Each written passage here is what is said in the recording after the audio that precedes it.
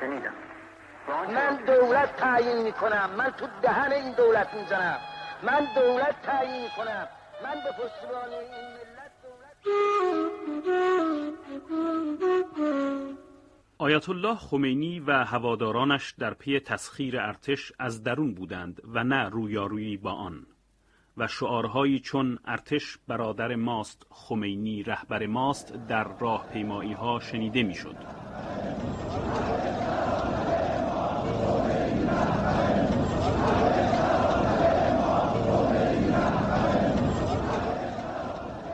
چنین شعارهایی برای شاه که ارتش را مهمترین نهاد حافظ سلطنت و استقلال ایران می‌دانست سخت ناگوار بود. نقش پرواضحی اساس به هم زدن و از بین بردن آتش شاهنشاهی و نیروهای مسلح. امروز آتش نیرومندی دارید. پنج سال دیگه آتش ایران در حدود خودش برای مملکت چهل میلیونی یکی از آتش های خوب دنیا خواهد و این دستگاه پر از عواطف میهنی پر از عشق میهنی با این شوخی نمی شود کرد. با وجود این ارتش ایرانستان درست نمی شود در واقع اعلام حکومت نظامی سراسری به دنبال حوادث هفته شهریور بود که به گفته ارتش بود قرباقی ضعف درونی ارتش را نشان داد. یعنی از دوره نخست وزیری شریف مامی که این بحران شدید شد و بعد منجر شد به اعلان حکومت نظامی در کشور از اون وقت ضعف بیشتر نیروهای مسلح دیده شد. به نظر ارتش بود جمع نحوه بکارگیری ارتش در خیابانها اساسا اشتباه بود. اصلا ارتش را هیچ جای دنیا نمیارن اینجوری خورده خورده تو کوچه های چندین ماه با به اصطلاح شلوغ فلوغی رو به رو بکنن. ارتش اگه یا بره باید بره به جنگ دیگه. دیگه ارتش نم نمی‌تونه بره. یه روز بره کار پلیس انجام بده یه روز گل بزنن بهش و یه روز نمی‌دونن ماچش بکنن و جلو روش مثلا عکس شار آتش بزنن و فوش بدن و نمی‌دونم. این دیگه این ارتش ارتش دیگه نیست. و به علاوه اون از روانیش. و از لحاظ انسجام ارتش هم موقعی نیرو داره که تمرکز داشته باشه. وقتی که تیکه تیکش کردید توی هر کوچه پر کوچه فال فال چیدیدش دیگه تمام این قدرتش از بین رفته. و به علاوه این سازمان ارتش برای مبارزه تو کوچه ها نیست با مردم نیست. توی تانک ببرن تو خیابون خب از اون بالا پایین شیشه بنزین می‌نزن روش آتش می‌گیره دیگه. عملیات تو کوچه همین وساطی است که مثلا سپر دارن و پلیس ضد شورش هست و نمی‌دونم چوب و چماق دارند و گاز اشکاور دارند و تلمبه آب دارند. از این حرفاست دیگه. نه به اون سیستم. اونم البته کار خبتی بود که آرتش هی بردن خورده خورده متلاشی کردن. با مردم رو بکنن روحیش خراب کردن. از یه طرف تو کوچه ها میذاشتن از یه طرف هم بهشون می‌گفتن خشونت نکنید تیراندازی نکنید نزنید نزنید یه روز می‌گفتن بزنید یه روز می‌گفتن نزنید. و البته دستگاه تبلیغات اونا هم که به راه بود همین. هیچ حکومت نظامی هم اونجا مجاز نشد که بره بازداشت بکنه و ببنده و رهبرا رو بگیره و زندانی بکنه و اینا. اونا سر کارشون بودن. حالا به فرض هم این کار می‌کردن. دیگه این آرتش مگه رو داشت؟ در ایران بتوانه دوام بیاره و بمونه. ملت دیگه ای که نبود این افسرها و درجه دارام سربازام همون مردم بودن دیگه. یکیش سیویل بود یکیش نظامی بود. بره حالا اونا رو بزنه بکشه. مگه میشه توی مملکتی اینجوری؟ نمی‌شد اصلا این کار کرد.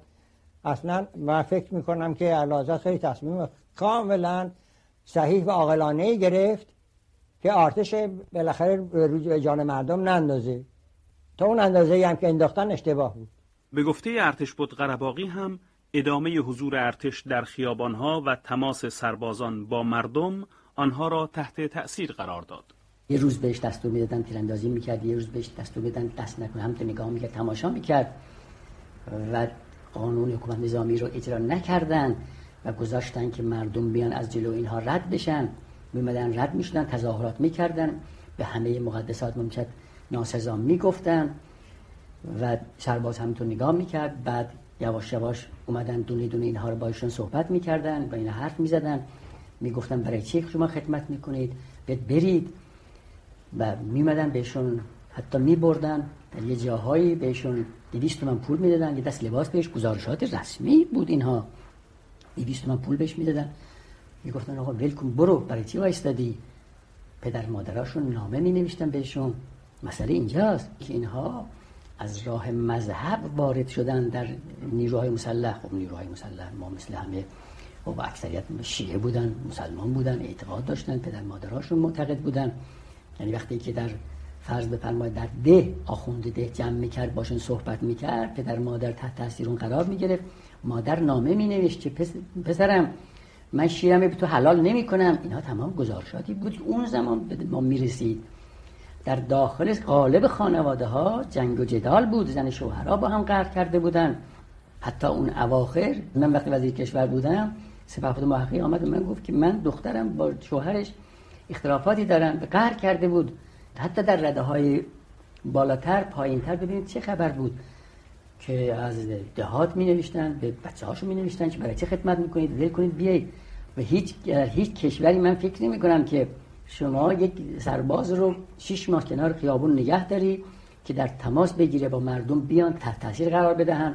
تو سرما گرما ناراحتی و نامون بخره در کسی تو خیابون هست نامنظمی غذا میشه نامنظمی همه چیز میشه. با این ناراحتی باز استقامت خودش از دست نده. هر موقعی که بهش گفتن که وظیفت انجام بده انجام داد. ولی وقتی نگفتن نداد.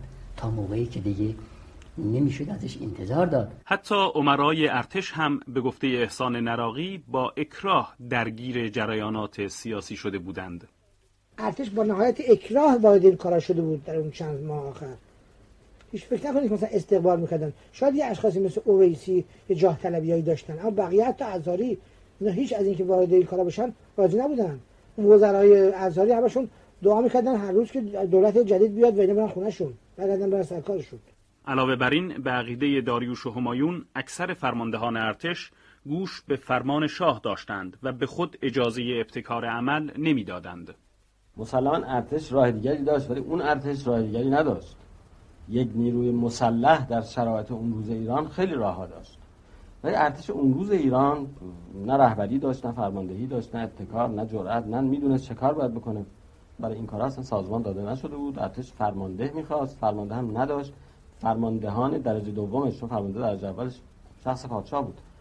اونا از هم بیشتر بعدشون میامد احتمالا تا از دشمنانشون و به هر حال آماده همکاری با هم نبودن و هیچ کدام جرأت این اظهار نداشتن که باید قدرت رو در دست بگیریم چون این خیانتی به شاه محسوب می‌شد نباید فراموش کرد سعی دکتر شاپور بختیار پس از تصدی نخست وزیری بر این بود که هم جانب انقلابیون را نگاه دارد و هم اعتماد عمرای ارتش را به دست آورد.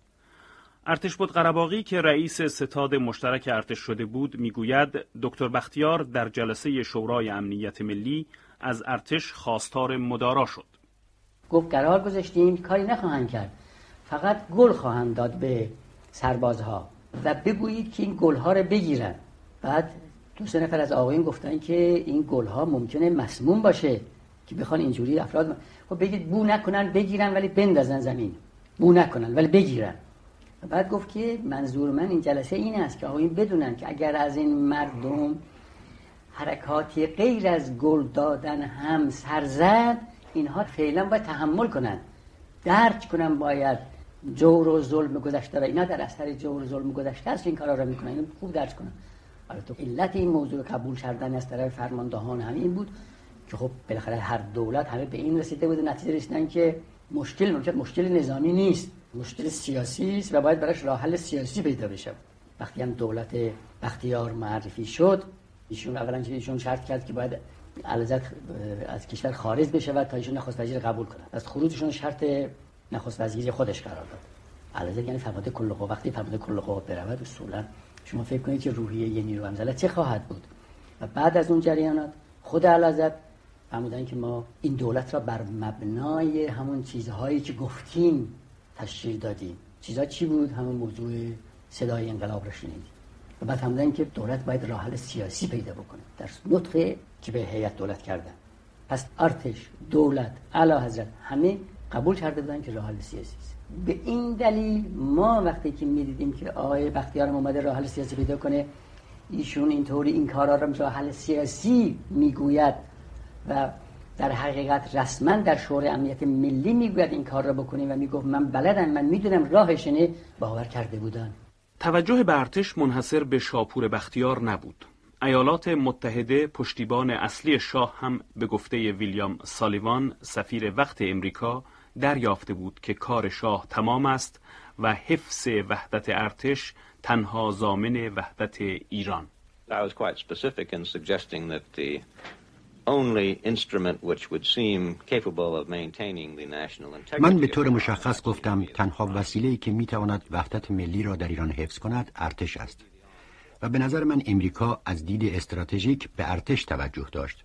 و اینکه ارتش به نحوی از ورطه درگیری های انقلابی برکنار بماند و با کسانی که به نظر من سرانجام به قدرت می رسیدند توافقی حاصل شود و بعد از انقلاب ارتش بتواند وحدت و تمامیت خود را حفظ کند در همان ایام بود که ژنرال هایزر معاون سرفرماندهی نیروهای پیمان آتلانتیک شمالی به تهران رفت. به طب یکی از ملاقات‌های اول ژنرال هایزر با ارتش بود قرباقی بود. یه جلسه معارفه بود. گفت بله من آمدم که بگویم که دولت امریکا از ارتش ایران پشتیبانی می‌کنه و ارتش ایران هم به نظر ما مسلحت هست که دولت بختیارم پشتیبانی بکنه. بس. این صحبت معارفه بود جلسه معارفه بود که در حدود شده یه رو ده دقیقه طول کشید و ایشون رفت. ولی اون چی که به طور خلاصه اینجا می‌توانم بگویم مسئله اساسی که مطرح بود چون ما آخرین مدرن ترین هواپیماهای امریکا رو خریداری کرده بودیم که F-14 بود و بمب های مخصوص فنکس داشت. و این هواپیما رو به طور استثنایی امریکا همزمان به ارتش خودش و به ما داده بود که معمولا این کار رو کشورها انجام نمی‌دهند. ولی این رو به ایران فروخته بودن اینها. و چون فروخته بودن در قراردادش به طوری که فرمانده نیروی هوایی می‌گفت قید شده بود که در حفظ اسرار این هواپیما و اون بمب و وسایلش اینها نظارت خواهند کرد. این بیشتر آمده بود برای نظارت در این و سایر سلاح ها و سایر امور برای این کار آمده بود. در خلال این مشکلاتی که به ما مراجعه می‌کرد میآمد این صحبت هایی هم راجع به مسئله شلوغی که در کشور بود مطرح می‌شد که از جمله مسائل روز همین بود که در یکی از جلسات که ایشون صحبت پشتیبانی از دولت رو مطرح کرد و گفت که اظهار کرد که دولت امریکا و دولت های غربی دیگر از اعلی حضرت پشتیبانی نمی کنند حضرت باید خارج بشوند. وقت من کمیته بحران رو دعوت کردم. گفتم پس پس اینطوریست آقایون چه بکنیم ما؟ چه فکر می‌کنیم؟ تنها مشکل ما به نظر ما به این رسید که ما جلوی خمینی رو بگیریم و جلوی بی بی سی گرفته بشود و کاست های خمینی. و دو روز دیدیم ازش خبری نیست. من فرستادم عقبش چه بیا ببینیم آقا چطور شد. گفت که بله بی بی سی در اختیار ما نیست و گفتیم خب شما می‌دونستیم در اختیار شما نیست. بعدم گفت که شما برید بازرگان بهشتی رو ببینید. به گفته سایرس فنس وزیر خارجه وقت امریکا مأموریت جنرال هایزر در تهران فقط این بود که ببیند چگونه می‌توان ارتش را حفظ کرد. The Heiser visit was to try and see that uh, to the extent the United States could play a constructive role it would help to keep the military together. دیدار ژنرال هایزر برای این بود که ببیند امریکا برای حفظ وحدت ارتش ایران چه کار می‌تواند بکند تا اینکه مبادا در ارتش شکافی ایجاد شود و کشور به ورطه بحران و آشوب بیفتد و وضعی پیش آید که کسی نباشد قدرت را در دست بگیرد. بنابراین سفر ژنرال هایزر به ایران فقط و فقط به این دلیل بود و او مأموریت دیگری نداشت. اردشیر زاهدی سفیر ایران در واشنگتن که به تهران آمده بود معتقد است که اصلا نباید اجازه می‌دادند هایزر به ایران بیاید. هایزر اصلا حق نداشت به ایران بیاد. ما یک مملکت مستقلی بودیم. من اون شب جمعه شب که در حضور علازت بودم وقتی این موضوع خبر آمد و بهشون از کردن و من فرمودن که با سفیر امریکا صحبت کنم بهشون از کردن اجازه بدید دستور داده بشه به ارتش که دژبان یا او رو در به مجرد که به فرودگاه می‌رسه بیرونش کنن و یا اینکه توقیفش کنن. هایزر یک ژنرال خارجی حق نداره بدون اجازه آرتش و بدون اجازه رئیس مملکت و دولت به کشور ما بیاد. حتی بعضی از عمرا آمدن می‌خواستن یکیشون او رو توقیف بکنه یکی دیگرشون حتی می‌خواست او رو کتک بزنه. ولی چون اعلی حضرت امر کرده بودن که اینها دیگه حالا مانی نداره دیدن اونها. بنابراین من اونها رو ازشون خواهش کردم. این عمرا رو به عنوان یک دوست البته کاری نبودم که اینها سعی بکنن که خونسردی خودشون حفظ کنن و ببینن مرد که چی میگه. ولی اصولا در با آمدن او و عملی که شد مخالف بودم و باعث تاسف درباره مأموریت ژنرال هایزر در تهران صحبت بسیار شده. برخی آن را برای ترتیب کودتا دانستند و برخی برای جلوگیری از آن. ارتش قرباقی می‌گوید که هدف هایزر حتی برای ارتشیانی که با او در تماس بودند روشن نبود. هایزر یه روز موافق کودتا بود یه روز مخالف کودتا بود و بالاخره قبل از تشکیل بردن علازت خواستن که من گفتم که به اصطلاح صحبت های کودتا ایجاد ناراحتی کرده و نخست وزیرم از این موضوع نگران هست. شما این رو تکذیب بکنید که من مصاحبه کردم و قبل از تشکیل بردن علازت مصاحبه کردم و گفتم که من انتظار دارم که بعد از خروج علازت از کشور ارتش و ملت در روبروی همدیگه قرار نگیرن. چون اگر ارتش و ملت در روبروی هم قرار بگیرن نه ارتشی باقی خواهد بود نه ملتی که این آرزوی هیچ ایرانی نیست. برای آیت الله خمینی در پاریس شکست دولت نظامی ارتش بود ازهاری به معنی بی اثر بودن راه حل نظامی بود. حکومت نظامی نتوانست بر مردم تأثیر بکند. یه مردمی که از جان خودشون گذشتن دیگه این نمی‌شد با حکومت نظامی اینها را جلوگیری کرد. در ایران هم کسانی چون آیت الله صادق روحانی نظر مشابهی داشتند. اولا ارتش اون اتحادی که خیال می‌شد در ارتش هست نیست. الان زیادی از ارتشی ها به ما مراجعه کردن و اعلام همبستگی می‌کنن و اکثرا موافق ما شدن. افراد نادری هستند که در طرف دستگاه هست هنوز. این اولا. و ثانیا فرض کنید به اینکه اینها متحدن باشند. دیگه یک کودتا نظامی از دولت ازهاری بدتر میشه. چی می‌کند دیگه؟ چی کار می‌خوان بکنن؟ هر کاری می‌خوان بکنن دولت ازهاری کرد دو ماه هم رو کار بود نتونست کاری بکنه. و به نظر آیت الله خامنه ای در حالی که شاه روی رده های بالای ارتش حساب می کرد انقلابیون بدنه ارتش را تسخیر کردند و این خود جریان انقلاب را تسریع بخشید. همه می‌دانند که رژیم گذشته روی ارتش سرمایه گذاری های گوناگونی کرده بود و به اون امید زیادی داشت. البته بیجا امید امید بجایی نبود. علت هم این بود که اونجایی که او سرمایه گذاری کرده بود اون بخش کارایی نداشت. رؤسا و فرماندهان بالا و عناصر ویژه در ارتش بله متعلق بودن به دستگاه سلطنت و به رژیم.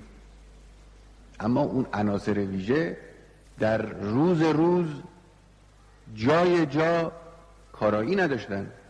کارایی رو بدنه همیشه داره. بدنه ارتش که جزو آهاد مردم بودن نه مشمول خیرات و برکات اون دستگاه بودند و نه قاعدتا اون دستگاه به اونها می‌توانست امیدی داشته باشه. لذا وقتی که معرفت و آگاهی به مسائل جاری کشور برای بدنه ارتش پیدا شد همه بساتی که اونها چیده بودند واژگون شد. و همین به پیروزی سریع انقلاب کمک کرد. هنر یک انقلاب همینه. که می‌توانه عناصر نیروهای مسلح دشمن را هم متوجه به خود کنه و به حقانیت خود معتقد کنه و جزئی از خود کنه و کرد. و همین موجب شد که پیروزی آسان شد و زود شد. بدون این هم شاید پیروزی به دست می آمد اما با زحمات زیاد و شاید با یک فاصله طولانی تر